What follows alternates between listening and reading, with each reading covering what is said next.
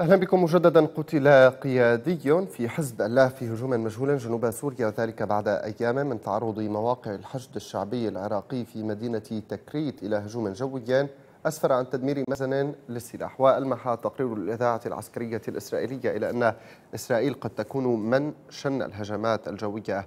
لافتة إلى أن الهجوم يحمل بصمات الغارات التي شنتها إسرائيل في وقت سابق ضد أهداف إيرانية في سوريا. تفاصيل في سياق هذا التقرير. تبدأ الحكاية أواخر سنة 2018 حين صرح قائد استخبارات السلاح الجوي البري الإسرائيلي أنهم يتابعون التموضع العسكري الإيراني في العراق بما في ذلك نصب صواريخ أرض أرض قادرة على ضرب أهداف إسرائيلية. يبدو أن هذا التصريح تحول إلى فعل عسكري في أعقاب هجوم جوي في مدينة تكريت العراقية. على مخازن للسلاح للحشد الشعبي المدعوم من إيران. تقرير الإذاعة العسكرية الإسرائيلية. ألمح أن الهجوم يحمل خصائص الغارات الإسرائيلية التي شنتها إسرائيل ضد أهداف إيرانية ومخازن حزب الله في سوريا. تحدثت التقارير الإسرائيلية عن مراقبتها للمثلث العراقي الإيراني السوري واتهمت إيران أنها تستخدم الأراضي العراقية لشن هجمات صاروخية. ضدها. وقد تفسر هذه التقارير ما حدث في محافظة صلاح الدين العراقية وتعرض معسكر للحشد الشعبي لقصف جوي بواسطة طائرة مسيرة مجهولة حتى أن مسؤولا قال إن الانفجار وصل إلى مسافات بعيدة عن موقع للمعسكر المستهدف وأوقع قتل بين صفوف الحشد. يتزامن ذلك مع مقتل مشهور زيدان القيادي في ميليشيات حزب الله. بعد استهداف سيارته بقذيفة صاروخية في بلدة سعسع في ريف دمشق الجنوبي لكن الأنباء تحدثت عن احتمال تنفيذ العملية من خلال طائرة مسيرة دون طيار وهذا قد يفتح باب احتمالات أخرى من بينها مراقبة إسرائيل عن كثب لجميع الأهداف التابعة لإيران سواء في سوريا أو العراق هل بدأت إسرائيل بمرحلة تقطيع أوصال أذرع إيران الضاربة؟ وهل باستطاعة هذه الميليشيات الرد الفعلي؟ وكيف ستتعامل إسرائيل بعد اليوم مع هذه الأذرع في العراق؟ في ظل تقارير أخرى تقول أن تل أبيب بدأت الهجوم في العراق بضوء أخضر أمريكي.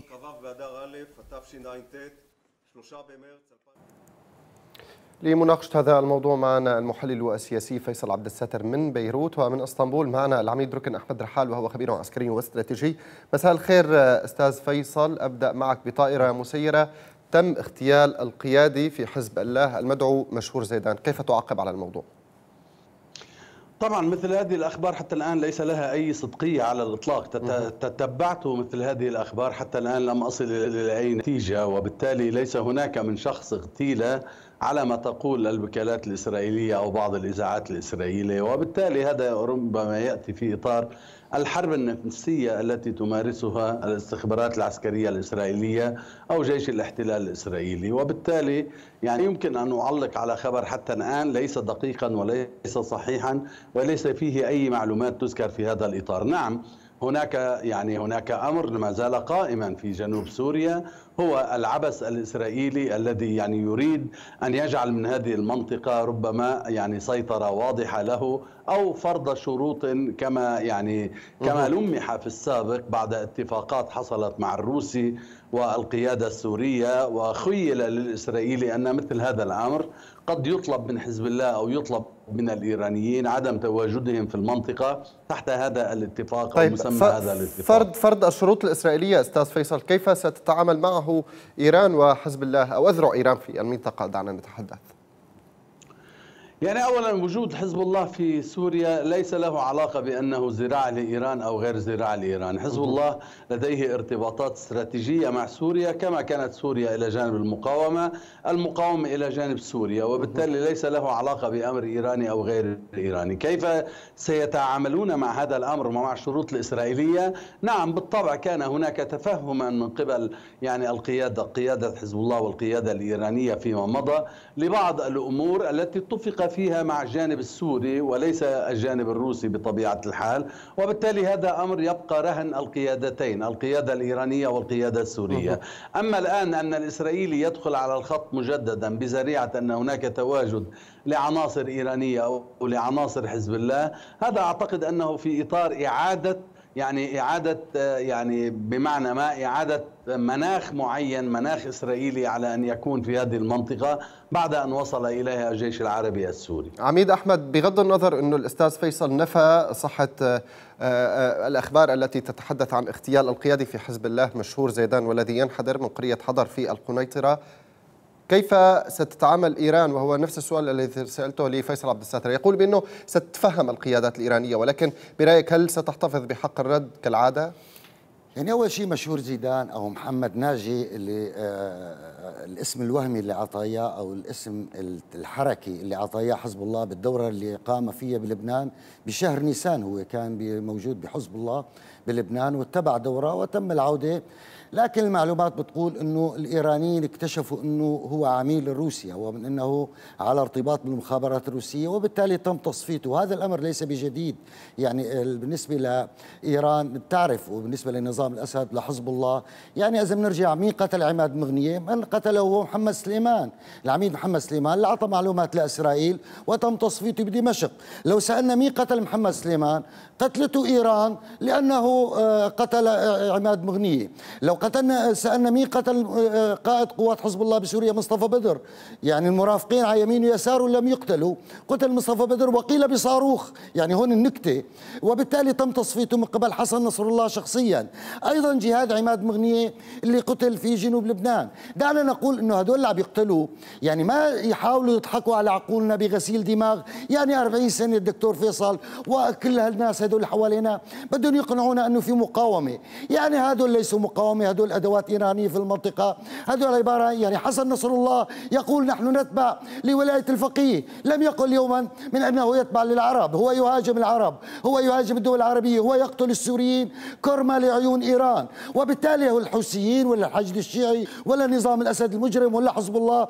أدوات آه، إيرانية. حتى إيران يعني عندما قامت بما يسمى بين هلالين ثورة إيرانية. يعني ما نسينا هسه فضيحة إيران جيت اللي كانت تأخذ الأسلحة من إسرائيل. وبالتالي العلاقة بين إسرائيل والعلاقة بين إيران بين حزب الله بين نظام الأسد. بالمناسبة من ثلاث أسابيع اللواء جميل حسن قبل أن يقال كان مجتمع مع القيادة الإسرائيلية بالجولان مع زهير الأسد صحيح. وبرعاية روسية. يعني هدول بيتنافسوا من يحكم المنطقة من يسيطر على المنطقة من له النفوذ في المنطقة. وليس على تحرير فلسطين طيب. أو على تحرير الجولان. أما إيران إنه ترد ما ترد. يعني أنا بعتقد أخي مؤمن والدكتور فيصل بيعرف الكلام. إسرائيل أعلنت صراحة. 235 عملية نفذنا على إيران وحزب الله وعلى نظام الأسد في سوريا. لم يكن هناك رد ولا تجرؤ إيران على الرد ولا يجرؤ حزب الله. بيطلع لنا نعيم قاسم كداعش. نقطة كثير مهمة. داعش تقول أن قتال المرتد يقدم على قتال الكافر. بمعنى أن قتال الجيش الحر يقدم على قتال نظام الأسد. أيضا إيران وحزب الله شو بيقولوا؟ قتال السوريين يقدم على قتال الإسرائيليين. لما بيسأل حسن نصر الله أو وليد المعلم أو بشار الأسد ليه ما عم تردوا على إسرائيل يعني هذا هذا أيضا ما تثبته الوقائع رأينا في حلب رأينا نرد نعم عليهم في نعم نعم. نرد عليهم بالساحل. نعم. طيب بيعتبروا قتال فيصل. السوريين نعم. هو الأجدى والأولى. نعم سيد فيصل ما الذي تخشاه إيران اليوم مع اتساع رقعة الاستهدافات الإسرائيلية لتشمل العراق أيضا. يعني مواقع لميليشيا الحشد الشعبي تم استهدافهم ولمحت إسرائيل لمحت الإذاعة الإسرائيلية ولمحت صحف إسرائيلية لمح موقع ولاه أيضا لأن بأن إسرائيل هي من تقف وراء استهداف ميليشيات الحشد الشعبي في محافظة صلاح الدين العراقية مؤخرا. يعني ما دام ليس هناك مقاومة وليس هناك حزب الله الذي يقوم بقتال إسرائيل والحشد الشعبي وإيران هو لا يق... يعني هو في مقاومة ولكن لا يقوم بقتال خليني إسرائيل. كمل خليني, نعم. خليني كمل خليني كمل اسمح لي. يعني عندما نقول ليس هناك من مقاومة وهذا كذب وهذا مش عارف شو إلى آخره وحزب الله يقتل السوريين وإيران تقتل السوريين وما بعرف شو إلى آخره. لكن لماذا تقوم إسرائيل بمثل هذا الأمر؟ لماذا تقوم إسرائيل بشأن عمليات واغتيال قادة كما تقولون؟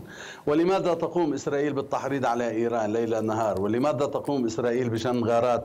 وتدعي أن هذا الأمر له علاقة بأن الحشد الشعبي ممكن أن يوجه ضربات إلى إسرائيل. يعني يجب أن يكون الكلام منسجما مع الكلام الذي يطرح من قبل. إذا كنا نريد أن فقط أن يعني نضع الأمور وكأننا نبيع بطاطا وبندورة وبيض وبصل أخضر بنفس السلة فهذا لا يمكن. نحن نعالج موضوع محدد. تقولون أن هناك خبرا أن إسرائيل قامت باغتيال قائد من حزب الله في طيب جنوب سوريا. انتهينا منها هي زيدان إلى نعم. هذا كلام إلى الآن ليس لا له أي يعني طيب أي صدقية على كيف تابعت كيف تابعت أستاذ فيصل؟ الغارات على على على ميليشيا ميليشيا الحشد الشعبي في العراق. كيف تابعت هذا الخبر؟ ومن يقف وراءه برأيك؟ طبعا هذا الكلام اولا هذا الكلام ليس جديد يعني ليس البارحة وليس اليوم. هذا الكلام قيل منذ أكثر من خمسة أيام ستة أيام.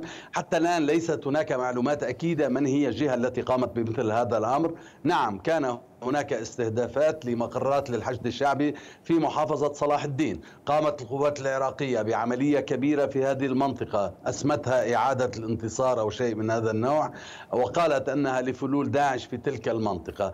الخوف كل الخوف أن يعاد يعني العبث بالأمن العراقي من جديد عبر يعني عبر دعم هذه المجموعات عبر تقديم لها معلومات لوجستية كما الآن يفعل مع بعض المجموعات السورية الإرهابية وغير الإرهابية منها التي تقصف مصياف التي تقصف اللاذقية التي تقصف شرق حماه إلى آخره.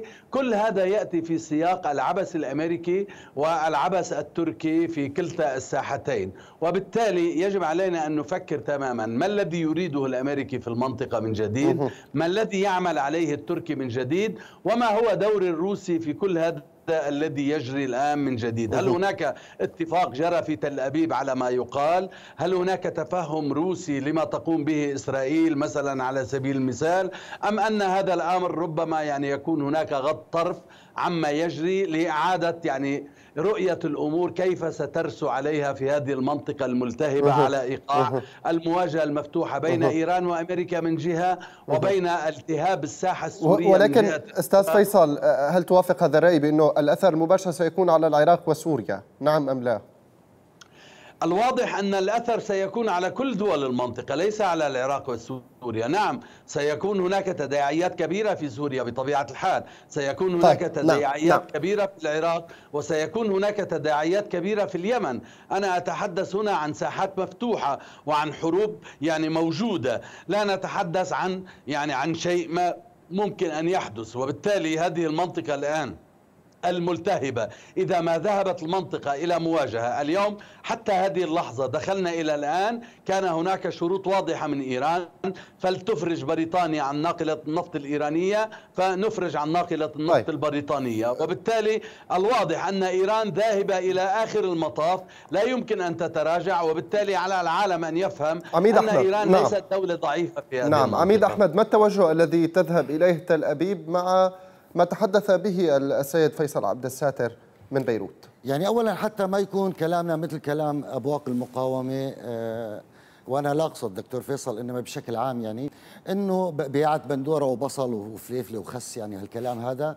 لازم نعرف كليتنا إنه إيران هي دولة إرهاب واحتلال وإنه إسرائيل هي دولة إرهاب واحتلال. وأن الصراع ما بين إيران وإسرائيل ليس على تحرير القدس ولا على تحرير الجولان صراع ولا مصالح. تحرير المواطن العربي. هو صراع مصالح وبالتالي يقتل الشعب السوري كرمة لعيون إيران وكرمة لعيون إسرائيل وكرمة لإبقاء نظام الأسد الذي يخدم إيران ويتوالى مع إسرائيل. وبالتالي هذا الكلام المنطقي يا دكتور فيصل وأنت بتعرف الكلام أكثر مني. هذه نقطة.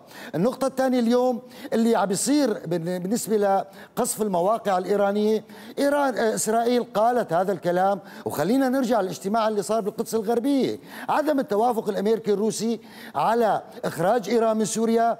كان هناك أعطاء الضوء الأخضر لإسرائيل بأن تتوسع بعملياتها. وهذا الكلام ما جديد. يعني خرج رئيس الأركان الإسرائيلي وخرج وزير الدفاع وخرج نتنياهو منذ العام 2018 وقالوا الأراضي العراقية أصبحت ضمن مجال الاستهداف الإسرائيلي. حتى حتى رئيس شعبة الاستخبارات الإسرائيلية تيمير ميهان في يونيو حزيران ذكر وأكد بانه مركز الثقل إيه؟ ينتقل شيئا فشيئا. الإيراني ينتقل من من سوريا إلى العراق. تماما. هذا ما ذكره اللي عم بيصير بالمنطقة حاليا إن كان في يعني منطقة الامرلي اللي قصفت أول امبارح واللي دمرت فيها مستودعات صواريخ بالمناسبة وصلوا صواريخ المس المساء صباحا تم قصفهم يعني وبالليل تم قصفهم. دليل من أن هناك عملاء داخل الشاحنات اللي نقلت الصواريخ من إيران لمنطقة آمرلي. اليوم إسرائيل راح تضرب كل المواقع لأن عندها خارطة أهداف بمراقبة أمريكية بمراقبة أوروبية بضوء أخضر روسي وبضوء أخضر أمريكي. أنا بعتقد اليوم على إيران أنه عملية التصعيد ليست بصالحة إنما هي تدرك أن استمرار الوضع كما هو عليه سيؤدي إلى انهيار الدولة الإيرانية أما استمرار العقوبات ستؤدي إلى نقمة شعبية وثورة شعبية على حكم الملالي. وبالتالي إيران تجد أن الحرب هو نعم. أسهل السبل. لكن أنا بدي أقول بالنهاية شغلة واحدة أنه كل ما يتم اليوم هو ترتيب. بمعنى أن إيران هي هدف لضربة قد تكون مستقبلا. لكن قبل أن تضرب إيران قبل أن تخنق إيران وتدعس يجب أن تقطع أذنابها. بمعنى يجب أن يكبل حزب الله ويتم القضاء عليه يجب أن ينهى نظام الأسد يجب أن تكون هناك حد وتكبيل للحشد الشيعي ويجب أن تكون نهاية للحوثيين. هؤلاء الأزرع الإيرانية الأدوات الإيرانية نعم. الأذناب الإيرانية يجب أن تكبل حتى يكون ظهر المهاجم محمي ومن ثم انطلاق إلى إيران. سيد وهذا سيد الأمر قادم إن شاء الله. نعم بدقيقة واحدة سيد فيصل. كيف سيكون التحرك الإيراني المقبل مع شعورها وتأكيدها؟ أي حتى أنت ذكرت في في في سياق مداخلتك مداخلتك في البداية بأنه كل ما يجري يجري بتنسيق وترتيب مع روسيا والتي هي يفترض أن تكون حليف إيران خصوصا في سوريا لا سيما بأنهم يتشاركان على دعم بشار الأسد قاتل السوريين. اولا لا أوافق على مثل هذه العبارات. يعني أنا عادة يعني لا أحب أن أدخل في مثل هذه العبارات. أقول للعميد أحمد يريد أن يشاهدني على شيء هو يظن أن هذا الأمر على طريقته. أنا آه، أؤمن بالعكس تماما يعني لا أؤمن أبدا بما تفضل به على الإطلاق. وتصحيحا لمعلوماته الشهيد جهاد عماد مغني استشهد في جنوب سوريا وليس في جنوب لبنان. ثانيا يعني علينا أن نكون واقعيين. إذا أردنا أن نلبس الأحلام أحذية فعلينا أن نلبس الأحلام الأحلام أحذية وتكون هذه الأحذية مناسبة بالنسبة لوعورة الطرق التي سنسلكها. ليس بالسهولة أبدا لا على الإسرائيلي ولا غير الإسرائيلي لا أن يتخلص من حزب الله ولا أن يتخلص من إيران. طيب يعني هل هل يعني دون كيف كيف ستعيد إيران؟ طهران كيف ستعيد ترتيب أوراقها مع تخلي الروسي عنها كذلك؟ يعني حتى أنت قلت هذا الموضوع. أنا لم أقل أن هناك تخلي. أنا قلت أن هناك تفاهما روسيا ضمن إطار ما يسمى بالاجتماع الثلاثي الذي حصل في القدس الغربية نعم. أو في تل أبيب وخرج الإسرائيلي بعده ليكون مرتاحا. أنا أفهم تماما أن روسيا ليست جزءا من محور المقاومة ليست جزءا استراتيجيا كما سوريا وإيران وحزب الله. علينا أن نتفهم مثل هذا الأمر وسوريا تتفهمه وإيران تتفهمه لكن لا يمكن أن يتفهم أن تدير روسيا الظهر نعم. لمثل هذا الحلف القائم منذ سنوات وهي لم تفعل. بالأمس طيب. التصعيد. الحاصل في المنطقة السورية هو تصعيد روسي بامتياز. لكن بدل أن نذهب إلى مثل هذا التصعيد فقط بالقصف علينا أن نضع حد لما يفعل به التركي مثلا في شمال سوريا وفي شرق سوريا إلى آخره بدل أن نذهب إلى مثل هذا التصعيد هو هو يعني إيقاف الغارات بالنسبة لإيران أعتقد بأنه الأولوية لإيقاف الغارات على مواقعها. على كل حال بدقيقة واحدة. لديك رد أحمد العميد أحمد رحال طبعا ليس إيران ليست بوارد لا أن توقف الغارات ولا أن تستأنف بوارد أن تسأل لماذا يدخل نتحدث عن مسألة مختلفة تماما. إيران طيب. موجودة في سوريا وجودك ضئيل جدا قياسا بوجود الروسي ووجود غير الروسي. نعم عميد أحمد ختام معك دقيقة واحدة. جهاد عماد مغنية نعم قتل في الجنوب وقتل معه العميد الإيراني محمد علي داي وإذا ورد جنوب لبنان فهو بالخطأ اللفظي فقط لا غير. إنما اليوم يعني أنا عم بستغرب اليوم عم بسمع نغمة جديدة إنه اليوم روسيا ليست من المقاومة. يا دكتور فيصل امبارح كان اسمه أبو علي بوتين وإيران راح تسويه من أهل البيت لأبو علي بوتين. تقريبا اليوم شو عدم بدأ؟ يعني اليوم حتى تغيير هالنغمة. ليس لإيران علاقة بمثل هذه الألقاب يعني على كل حال اليوم الأوراق أصبحت واضحة اليوم أصبحت كل شيء روس روسيا حليف لكنها ليست من محور المقاومة يعني طيب. أنتم اللي قلتوا هالكلام يا سيدي أشكركم بالنسبة لنا. إيران وحزب الله نعم. ونظام الأسد كلهم في بوتقة واحدة كلهم مجرمين كلهم شكراً لك العميد ركن إرحال. العروبة. يعني الخبير العسكري. مأجورين لتركيا وإسرائيل وغير ذلك اتهامات يعني. متبادلة شكرا لك أيضا المحلل السياسي فيصل عبد الساتر كنت معنا من بيروت مشاهدينا أشكركم على حسن المتابعة تابعونا على سيريا dot TV لكم من يوان فريق العمل الطيب تحية إلى اللقاء